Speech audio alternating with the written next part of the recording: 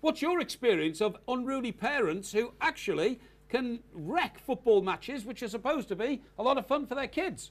Well, yeah, I mean, you've hit on that, Mike. Good evening, first and foremost, guys. Hi, Yeah, everyone. Hi, Jamie. Um, yeah, enjoyment is the word that we should all be stressing. I mean, I've got two two boys that play regularly, and they want to win, which is great. You know, it's great that they want to win, but you know, enjoyment for me has got to be top of the list. And um, my experience as a parent and a footballer is that you see far too many parents that want to win for them, so they go in, you know, go into the pub or going to work on a Monday and tell all the mates that their son has, you know, has won on, on the Sunday, and, and it's for all the wrong reasons, in my experience. How much of it, James, do you think is actually from the, the end goal, the end world wish of the parent of them wanting to play in the Premier League, and they see that the whole the old mapped road or the roads mapped out for them, and any sort of uh, detriment was gonna is gonna stop them from being a pro footballer?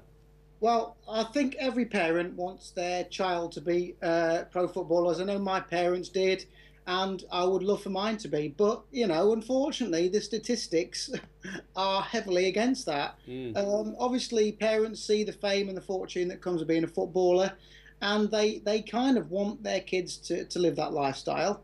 Um, but you know, when you've got kids of seven and eight that are being pressured into playing that don't want to be there, it's incredible. I've I had a, I had a friend um, who who came to me, um, and his son was eight.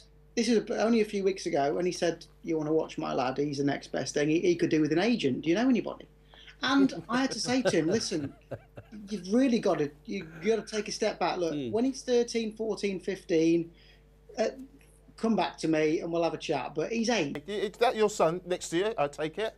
This is Jack. Yeah, he Hi, plays. Jack. Uh, he's he's a Chelsea fan. He plays in under 13 league. Um, You were supposed to bring your child up properly, not make him a Chelsea fan. He has brought him up properly. Uh, Jack, Jack, I'll just forget about your father for a minute. Does he let you enjoy the game? Does he step back and allow you to play?